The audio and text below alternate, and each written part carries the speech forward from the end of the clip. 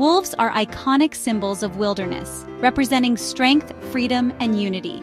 As apex predators, they play a crucial role in maintaining ecological balance. Belonging to the family Canidae, wolves are closely related to domestic dogs but possess distinct traits that make them formidable hunters and social animals.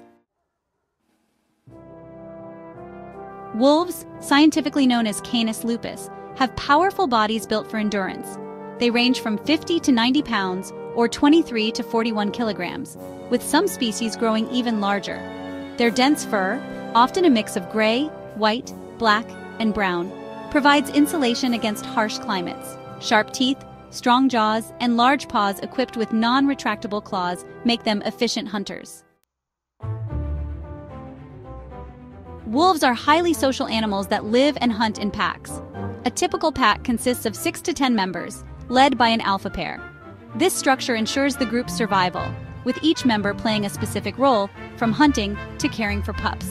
Cooperation and communication through howling and body language strengthen pack bonds.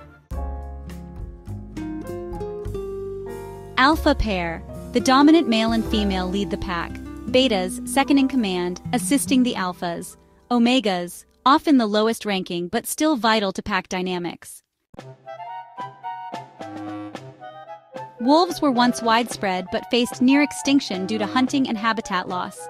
Conservation efforts, such as reintroduction programs notably in Yellowstone National Park, have helped stabilize some populations.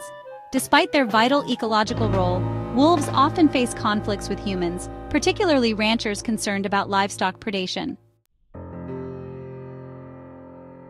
Wolves have captivated human imagination for centuries, appearing in myths, folklore, and literature. They symbolize both fear and respect, often depicted as guardians, warriors, or cunning adversaries.